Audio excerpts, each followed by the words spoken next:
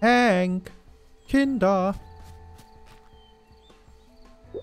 Hank, wo hast du denn gesteckt? Meine Güte. Geht es dir gut? Ist etwas passiert? Mir geht es gut, Mom. Nichts passiert. Okay. Gut.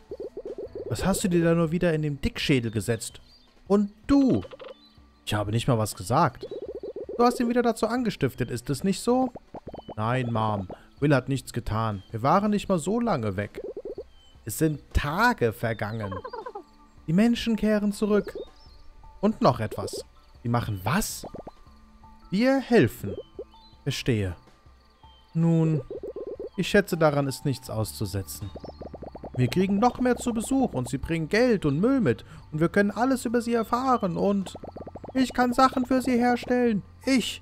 Toni hat mir beigebracht, wie man ein Bett baut und ich habe schon seit Jahren nichts mehr von ihm gehört.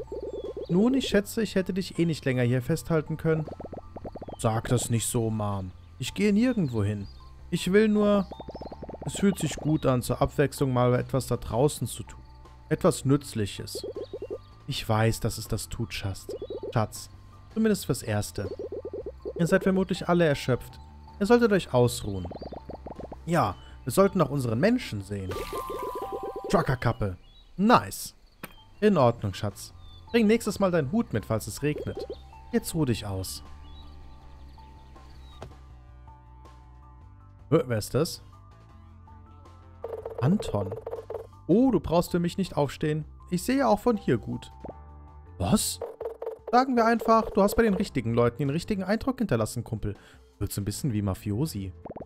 Das ist nicht wahr. So etwas habe ich nicht getan. Entspann dich, das ist etwas Gutes. Ist es? Die übergroße Ratte hatte ja gesagt, dass Größe nicht überall proportional ist. Hör zu. Du hast von meinem Unsinn redenden Mitarbeiter einen ziemlichen Eindruck hinterlassen, was nur selten vorkommt. Solltest du dich danach fühlen, damit weiterzumachen, ist der Weg zur alten Straße freigegeben. Solltest du dich dort unten wiederfinden, komme ich auf der Deponie besuchen. Warum sollte ich das tun?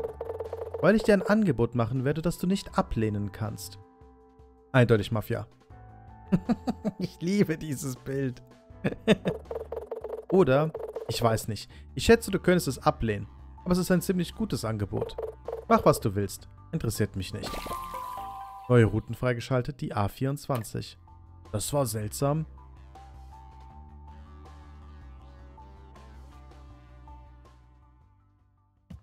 Okay. Äh, Charakter.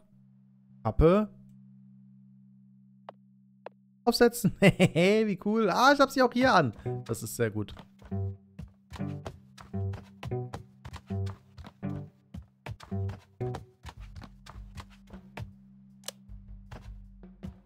Licht aus. Brauchen keine Energie verschwenden. Er bewegt dich südlich von Holzkreuzung zur A24. Alles klar. Mama. Pass auf, dass du nicht mit leerem Magen losgehst. Zu viel Essen macht dich schläfrig, zu wenig macht dich einfach dumm. ah, das ist es. Ich esse einfach zu wenig. Juckendes Fell bedeutet nur, dass man mehr Freunde hat, mit denen man Zeit verbringen kann. Ah, ich weiß ja nicht. Ich bin mir nicht so sicher, ob das so funktioniert. Oh, wir sind hier auch falsch. Wir müssen, glaube ich, nach rechts unten weg.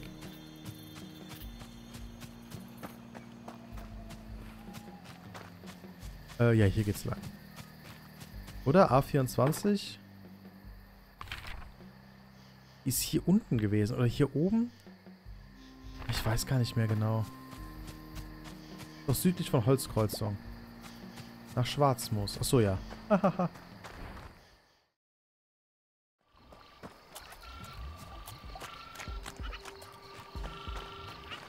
Wir laufen zur Autobahn ganz. Das klug? Ich weiß es noch nicht.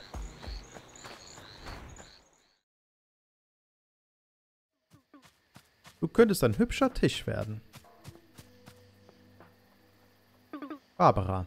Oh, wer ist da? Na sowas, das ist aber eine Überraschung. Meine Gute, meine Güte, du bist aber ein großer Bursche, nicht wahr? Du wirkst nicht sehr angsteinflößend. Äh? Ist schon in Ordnung. Du bist nicht der erste Mistkerl, dem ich hier in der Gegend begegne. Hab keine Angst. Bist du? Hinterfragende Bärenlaute. Nun, es ist wirklich schön, dich kennenzulernen, Liebes. Ich bin Barbara. Ich bin schon der Hüter dieses Waldes gewesen. Da konnte ich gerade mal so eine Silberkiefer von einer Bergkiefer unterscheiden. Weißt du, wo wir sind? Ich habe mein gesamtes Leben hier verbracht. Bärenlaute. Oh, natürlich nicht. Du bist nicht aus der Gegend. Das wüsste ich. Nun, wir befinden uns in Holzkreuzung, einem der größten Holzumschlagplätze diesseits des Tals. Oder zumindest war es das mal. Heutzutage macht kaum noch eine Seele einen Schritt in diesen Ort. Obwohl, in letzter Zeit sind mir weitaus mehr Seelen aufgefallen als sonst. Es ist fast so, als würde etwas die Leute wieder zurücklocken. Und dann kam ich nicht umhin zu sehen, was für eine wunderbare kleine Hütte wir hier haben. Hattest du da deine Hände im Spiel? Ich habe es mit meinen eigenen Tatzen gebaut. Zuversichtliche Bärenlaute. Ich hätte nie geglaubt, dass ich nochmal erleben würde, wie jemand unser kleines Tal besucht, geschweige denn Touristen. Ich muss schon sagen, dass wir eine ganz schöne Leistung für all... Das ist eine ganz schöne Leistung für einen allein. Hoffentlich sehe ich bald noch mehr von deinem Handwerk. Siehst du die gute Seele des Waldes?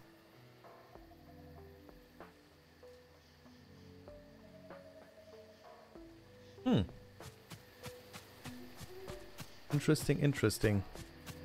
Genau, hier runter geht es jetzt zur A24. Oder? Ja. Schranke ist auf. Kilometer 62. Mich irritiert, das ist alles... Es wirkt alles so, als würde es in Amerika stattfinden, das Spiel, aber es ist alles trotzdem A24 und Kilometer. Das ist jetzt alles nicht so amerikanisch. Ich glaube, wo kommt denn das Spiel her? Ist das nicht Rumänien oder sowas? Ist das nicht ein rumänisches Spiel? Jetzt doch keinen Quatsch erzählen. Was war hier oben noch? Nach Schwarzmoos. Uh, jetzt komme ich in eine andere Stelle rein. Kann ich jetzt noch was entdecken? Das ist sehr dunkel. Ich mich ja freuen, wenn man später noch Kohlelilie. Wenn man später noch eine Taschenlampe oder sowas finden würde. Oder so eine Lampe. Oder so ein Lampenhut. Finde ich auch gut. Ich glaube, wir gehen mal lieber zurück. Oder was ist hier noch? Oh, hier ist eine Hexenhütte.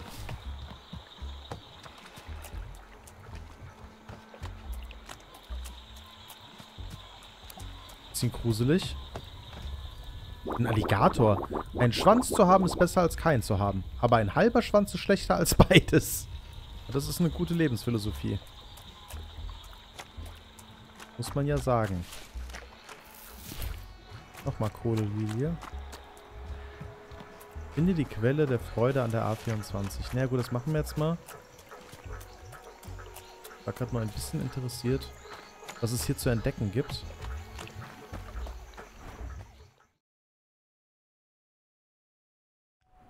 Ich muss doch mal hinlegen und schlafen, es ist nicht so dunkel.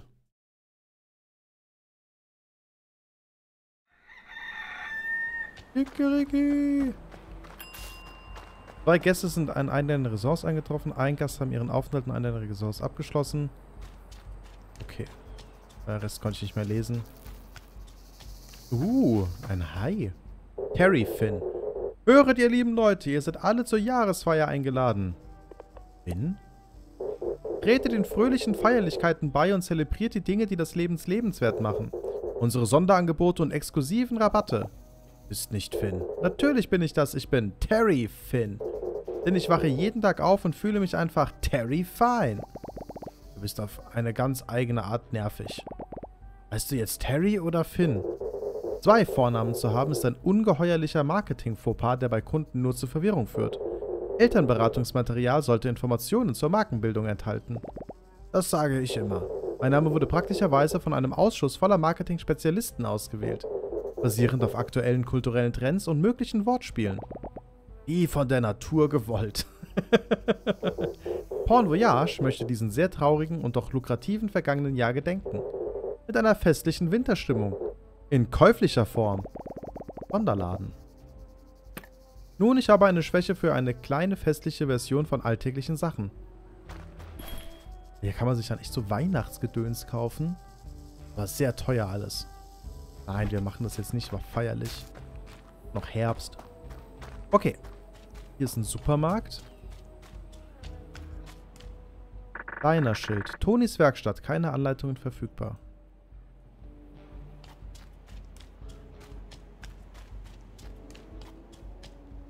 Ist mal eine Bushaltestelle. Aber die machen wir jetzt, glaube ich, nicht fertig. Was ist hier unten? Sieht erfrischend aus. Hier ist ein... Ein Truthahn. Ipswich. Ich kaufe nie, ich verkaufe nur. So macht man das große Geld. Das stimmt wohl. Ich kann das noch nicht öffnen. Eine Tankstelle. Ah, da brauche ich hier Stahlplatten, Kupferplatten. Okay.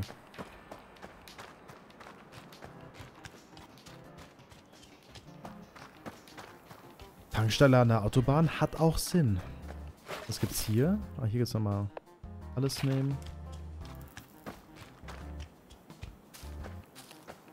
Wo ist denn jetzt hier die, die Maus? Wo ist Anton? Da.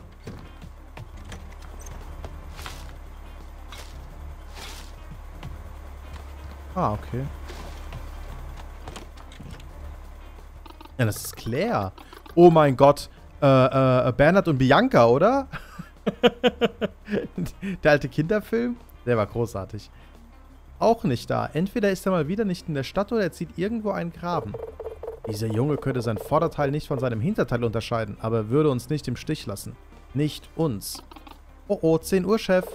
Was für eine Überraschung. Unser mächtiger Unternehmer. Gibt es ein Problem, Boss? Nein, zumindest noch nicht. Wie war die Reise, Hank? Ich glaube nicht, dass ich dir meinen Namen verraten habe. Das musstest du nicht. Ich kannte ihn, bevor deine Mutter ihn kannte. Ich glaube nicht, dass sie ihn kannte, Sir. Mama hat mir keinen Namen gegeben. Die Luft ist da oben wirklich dünner, oder? Auf jeden Fall. Ich habe deinen Namen nicht verstanden. Weil ich ihn einfach, weil ich ihn nicht einfach so durch den Raum werfe. Da besteht ein Geheimhaltungsprinzip. Geheimhaltungsprinzip. Also ich könnte es dann ja vielleicht auch geheim halten. Mit dieser Einstellung wirst du es nicht weit bringen, Junge. Wie auch immer. Mein Name ist Anton. Ich leite diesen Ort. Welchen Ort? Ha, welchen Ort? Diesen Ort. Alles, was der Gestank berührt. König der Löwen. Hör zu, du hast dir diese ganzen Fragen noch nicht verdient. Ein Mitarbeiter oben im Norden sagt, du hättest etwas Gutes vor. Leute zurück ins Tal zu bringen. Das sind gute Neuigkeiten für jeden, aber wir haben ein Problem. Einer aus meiner Crew ist vor drei Nächten verschwunden. Claire wird dir alles erzählen. Wir haben Wade gegen 21 Uhr in der Nähe der Schwarzmoosgrenze verloren. Wir waren unterwegs auf einer unserer Plünderungen. Ich hatte gerade um ein besonders schweres Stück Schrott gefeilscht. Zehn Sekunden später drehe ich mich um und von Wade ist keine Spur mehr. Nur das leise Zischeln des Sumpfes. Hast du irgendeine Ahnung, was mit ihm passiert ist? Nein, aber du wirst es herausfinden. Ich mache dir ein Angebot. Du brauchst mich und meine Deponie, um deine kleine Unternehmung zum Laufen zu bringen. Andernfalls rennst du auf der Suche nach Schrott herum und stirbst an Altersschwäche, bevor der erste Kunde auch nur einen Fuß in deinen Laden setzen kann. Wenn du uns aber Wade zurückbringst, kannst du jedes Stück Schrott, was du hier findest, behalten. Wir vermuten, dass er sich irgendwo in Schwarzmoos aufhält. Dort würde ich zuerst suchen. Wenn ich du wäre, würde ich nicht so herumsitzen. Okay. Deal.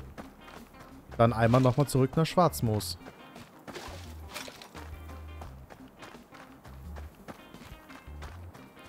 Ach, so ein bisschen schneller. Ich würde gerne rennen können. Jetzt so, ich drücke die ganze Zeit Shift, es passiert nichts. Und Shift ist bekannt, das ist die allgemeine Renntaste. Wie sich so manche Tasten einfach etabliert haben, finde ich auch witzig. Okay. Eine Couch. Habe ich eigentlich unendlich Platz in meinem Inventar? Sieht das mal nach viel aus zumindest.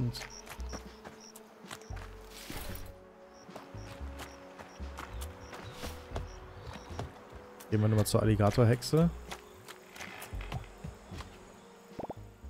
hallo? Oh nein, nicht das schon wieder. Ich schwöre auf meinen Schwanz. Was ist diesmal passiert? Hast du in ein Abflussrohr gefasst? Schlechte Pilze?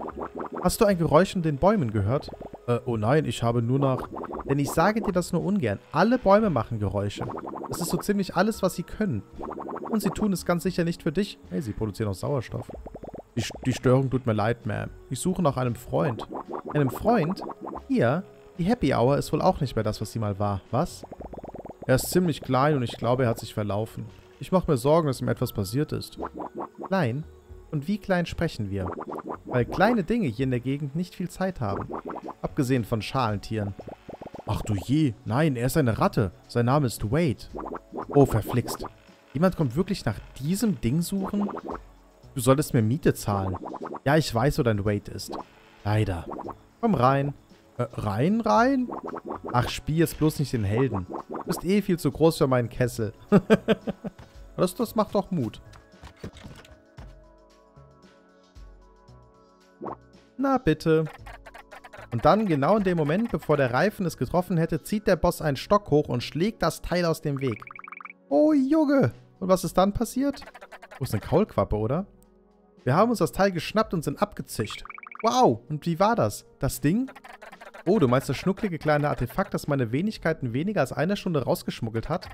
Nur der mit Abstand rostigste Katalysat Katalysator, den du je gesehen hast. Wow! Gestunken hat er auch. Ziemlich dolle. Wir glauben, dass eine Kakerlake darin gewohnt hat, bevor wir ihn gefunden haben. Wow! Quick, was habe ich über den Umgang mit dem Kriminellen gesagt? Krimineller? Wo? Jawohl, Ma'am. Tut mir leid, Ma'am. Außerdem haben wir einen Gast. Einen sehr außergewöhnlichen noch dazu. Wade? Bist du Wade? Hallo? Ich meine, nein, bin ich nicht. Oh doch, das ist er. Ein fauliger, nerviger Quälgeist, der seinen Schwanz nicht aus anderer Leute Angelegenheiten lassen kann. Ich war schon dabei, ihn zum Einlegen vorzubereiten, wenn du es wirklich wissen willst. Deine winzigen Knochen würden sich ja ganz wunderbar als Federhalter machen. Hast du gar nicht. Du hast gerade noch gesagt, dass du keine Ahnung hast, wie du ihn loswerden sollst. Ruhig, Kind. Wer will das wissen? Ich bin auf der Mission, dich wieder zurück zur Deponie zu bringen. Dein Boss ist krank vor Sorge. Du hast mit Mr. A gesprochen? Nun, eher etwas beschäftigt. Ich kann nicht glauben, dass er jemanden zu mir geschickt hat. Ja, er hat mir aufgetragen, dich zurückzuholen, dann darf ich die Deponie verwenden. Damit ich mehr Menschen ins Tal bringen kann. Er lässt Außenseiter nie die Deponie benutzen. Du musst wirklich was Besonderes sein, Mister. Nun werden wir mal nicht voreilig, Mister Besonders. So schnell wird diese Ratte hier nicht wegkommen. Aber sie hat doch gerade gesagt, du willst ihn loswerden. Natürlich will ich das, aber jetzt willst du ihn mitnehmen. Also bietet sich mir eine wertvolle Gelegenheit. Mir sind die Kohlelilien für meinen Gurkensaft ausgegangen. Man kann sie nur im Schwarzmoos finden, nirgendwo sonst. Oder vielleicht hat das Spatzenhirn an der A24 welche im Angebot. Er bringt sie sowieso her. Ipswich Ausverkauf. Bring mir ein paar von ihnen und ich sehe mal, wie dein neu gefundener Freund aus seinem Gefängnis freikommt. Haben wir schon ein paar gesammelt. Weißt du, worum ich dich gebeten habe? Ein Dutzend Lilien, wie du gesagt hast. Eine, ähm, zwei. Äh, ja, sieht richtig aus. Gut, das war hoffentlich eine Zeit wert. Denn beim nächsten Mal nimm du ihn in einem Ein... Was? Denn das nächste Mal nimmst du ihn in einem Einmachglas mit. Und bezahlst das Doppelte. Danke, dass du uns geholfen hast, Mister. Miss Charlotte kann sich nicht mehr so nach den Lilien bücken wie früher. Ruhig, Kind.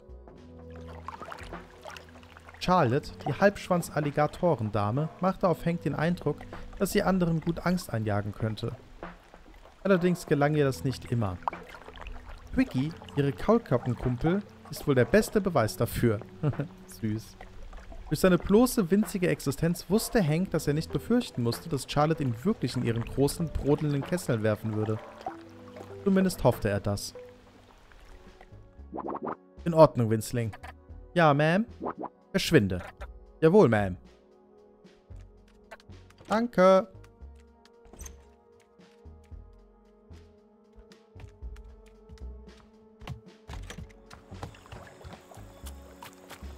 Dann gehen wir auch mal zurück zu Anton.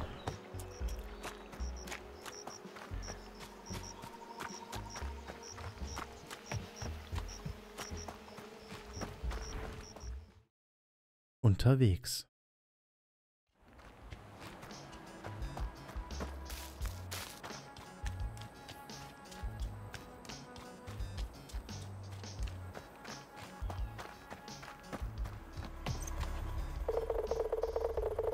Und du wirst nicht einen Fuß aus dieser stinkenden Müllhalde herausbekommen. Du wirst nicht einen Fuß aus dieser Müllhalde herausbekommen. Jawohl, Ma'am. Für einen Monat. Jawohl, Ma'am. Oh je, der Arme. Hat Hausarrest. Die erste Regel der Abfallorgie ist, dass die guten Sachen immer oben... Was? Ach, Abfallorgie. Abfallogie. Entschuldigung, das ist aber auch ein Wort, das man nicht häufig liest. Außerdem, glaube ich, müsste es da mit 3L geschrieben werden. Die erste Regel der Abfallogie ist, dass die guten Sachen immer oben liegen. Also grab schön tief. Claire ist ganz offensichtlich die rechte Hand dieser Unternehmung. Ihre Fähigkeit dafür, die besten Sachen zu finden, wird nur noch von ihrer Loyalität gegenüber der alten Ratte übertroffen. Anton, der Boss, scheint ein echt harter Knochen zu sein. Aber das muss man in diesem Geschäft wohl auch sein. Wade würde in diesem Geschäft wohl eher die linke Hand sein. Geringer Nutzen und nur ständig beaufsichtigt werden. die armen Linkshänder. Zumindest laut Anton. Was für ein merkwürdiger Haufen. Ich sage immer, dass ich genug von ihm habe. Aber dann denke ich an die Vorteile, die es bringt, ein paar Extrapfoten zu haben. Zum Beispiel, um sie auf eine wilde Fuchsjagd zu schicken. Ganz genau. Gern geschehen. Bild dir nicht zu viel darauf ein. Du hast getan, was man dir aufgetragen hat. Doch ich schätze, dieser Handel hat auch eine andere Seite. Und wir halten immer unser Wort. Oha, ist hier viel Müll.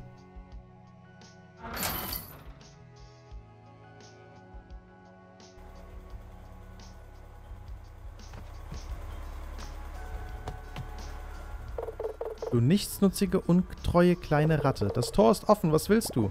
N, n nichts. Ich wollte gerade... Weißt du was?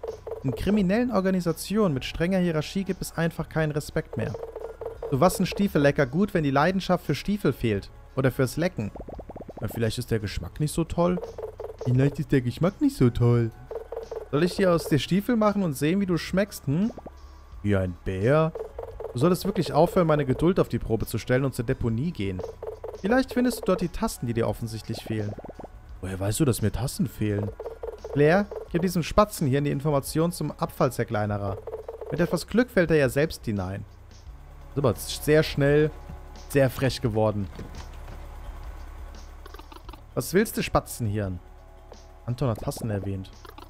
Wer hat dir erlaubt, den Vornamen vom Boss zu benutzen? Nenn ihn Boss. Oh, Verzeihung. Boss hat Tassen erwähnt. Das hat er, ja. Hör mal, du musst bei der Deponie vorsichtig sein. Das ist kein Spielplatz. Besonders beim Abfallzerkleinerer. Der zerkleinert den Schrank samt Tassen. Wie soll ich dann Tee trinken? Hör zu, du kannst Möbel, die du selbst gebaut hast, in den Zerkleinerer werfen. Die werden dabei zerstört, aber du kriegst einige Materialien zurück. Die Hälfte mehr oder weniger. Ich nehme mehr. Pass aber auf deine Hände auf, sonst verlierst du sie. Und wir können abgerissene Gliedmaßen nicht mehr einfach herumliegen lassen. Sonst wird der Boss wütend. Meine Hände? Mit dir rede ich nicht mehr. Du bist in der Lage, Möbel zu recyceln und so Materialien zu erhalten. Der Abfallzerkleinerer an der A24 kann hergestellte Möbel gratis verwerten. Beim Recyceln kriegst du in etwa die Hälfte der Herstellungsmaterialien aufgerundet zurück. Platziere das hergestellte Möbelstück im Recyceln-Symbol, um mit dem Verwerten zu beginnen. Sobald der Vorgang vorbei ist, erscheinen die entsprechenden Materialien im Ausgangsbereich. Äh, nur hergestellte Möbelstücke können verwertet werden. Keine Dekoration oder andere Gegenstände. Alles klar. Ich würde sagen, wir sammeln hier gerade noch mal ein bisschen Müll.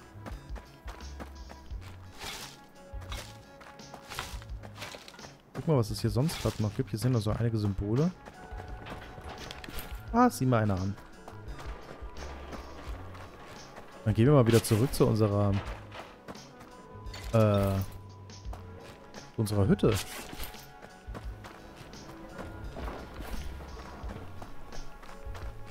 Und die nehme ich an, die, die regenerieren sich jetzt immer wieder, die Sachen. Weil immer neuer Müll dazukommt.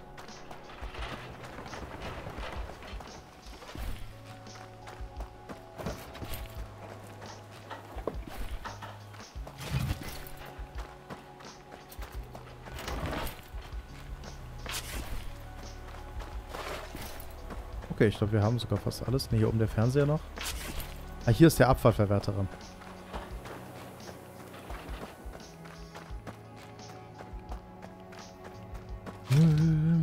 Müll.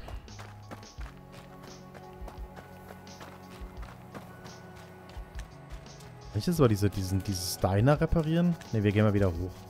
Gucken wir uns ein andermal an.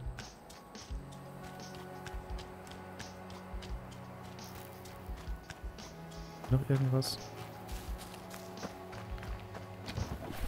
Uh, Steine. Spannend.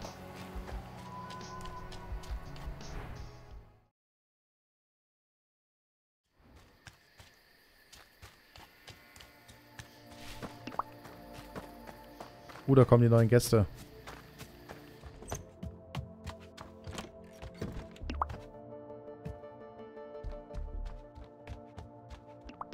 Ah, sie sind happy. Perfekt. Äh, vielleicht doch nicht so happy. Aha, das Motel. Now open. Da kann ich jetzt also auch...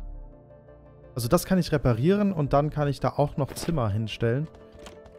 Das müsste ja eigentlich passen. Geht in zwei Tagen. Okay. Ja, wir können überlegen, ob wir nochmal ein Zimmer bauen.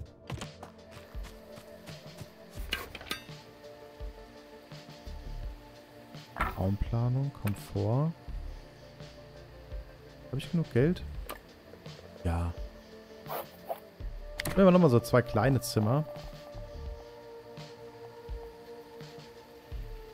Nee, ich will keine kleinen Zimmer, das ist Quatsch. Möchte ich einfach nicht. Wir könnten hier unten nochmal ein Zimmer hinmachen. Auswahl ist nicht mit vorheriger... Achso, ich muss... Ah ja, okay, verstanden. Tür hinzufügen. Fenster hinzufügen. Kann man hier in die Ecke vielleicht noch ein bisschen Deko reinstellen? Ich weiß, es ansonsten äh, ungenützter Platz, aber das passt schon. Nehmen wir mal ein Bett her. Herstellen. Perfekt. Äh, Inventar.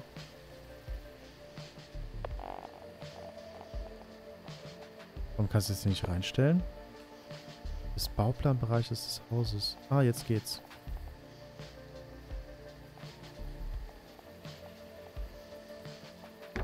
Interesting, dass ich das nicht in die Ecke stellen kann. Ah. Jetzt geht's. Super weird. Sonst haben wir hier gerade nix. Müssten wir halt nochmal einkaufen gehen.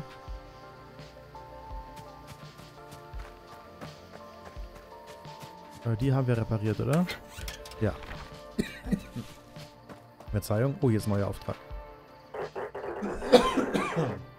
Irgendwas im Hals? Herzlichen Glückwunsch. Scheinbar geht es wunderbar voran mit deinem ersten Grundstück. Und jetzt, da du die äquivalenten Tipps eines Tür-zu-Tür-Türenverkäufers verdienst, wird dir eine Gelegenheit geboten. Um die angesehene Ahnentafel von Porn Voyage zu erhalten, musst du das Grundstück in diesem Gebiet auf unsere Standards bringen. Schließe einen Aufenthalt für einen Gast in der Bruchbude ab. Das haben wir doch schon, dachte ich. Na gut. Ähm, hier oben. Ähm, ich brauche ein... Mal die Kommode. Da gibt es mittlerweile auch schönere Sachen. Handbemalte Schubladen. Sieht cool aus. Äh, der Teppich. Muss meine Lampe. Einfacher Flurspiegel. Dann nehmen wir mal die... Probieren wir die Tischlampe irgendwo aufzustellen. Ähm, wo ist denn... Wo ist denn die Lampe? War die nicht hier? Hier ist eine. Wo ist die andere? Bin ich blind? egal. Wir haben jetzt die andere Bücherregal. Kommen wir nehmen auch mal mit. Ah, die Fußmatte, die hatten wir immer noch. Gäste sollen sich auch willkommen fühlen.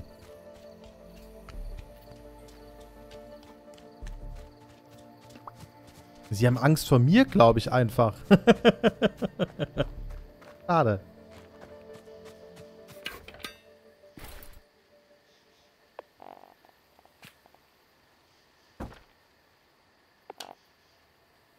Ah, die kann ich hier draufstellen. Das ist natürlich sehr cool.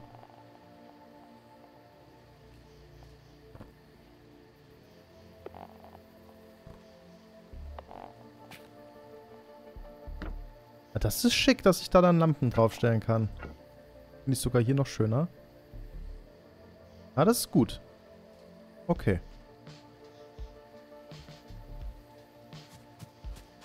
Wollen wir mal vielleicht einen Gast aufnehmen. Gästeanfragen 8. Sehr bescheiden. Bellatrix Kiddo. So, das ist Kill Bill. Beatrix Kiddo. Ellie Abbott, Paul Hartwig. Paul Hartwig, die haben beide denselben Namen. Lame. Finn Emmet, Allen Type. Wir haben, glaube ich, halt immer nur fünf. Schlafzimmer 3. Ich sehe halt leider nicht, wie meine Zimmer, was die für eine ähm, für eine Wertung haben. Ich glaube, die haben 5 irgendwas immer. Also weniger als... Nehmen wir hier Finn Emmet. Aha, 5 und 10. Wie kriegen wir mehr Komfort rein? Wahrscheinlich durch bessere Betten. Wäre mal meine Vermutung. Schließen Aufenthalt für einen Gast in der Bruchbude ab. Okay, ich glaube, jetzt müssen wir einfach ein bisschen warten. Können nochmal vielleicht die Tage ein bisschen Ressourcen suchen und nochmal ein bisschen die anderen Gegenden erkunden. Aber, äh, witzige Charaktere. Ich mag das Spiel immer noch sehr gerne. Ich hoffe, ihr auch. Wenn ihr Spaß hattet, könnt ihr gerne einen Daumen nach oben lassen, würde mich freuen. Ansonsten vielen Dank fürs Einschalten, fürs Zuschauen, fürs Zuhören, fürs Dabeisein. Wenn ihr Spaß hattet, könnt ihr auch gerne ein Abo da lassen. Wäre auch mega cool. Und ansonsten habt eine schöne Zeit, lasst es euch gut gehen, bleibt anständig und ciao.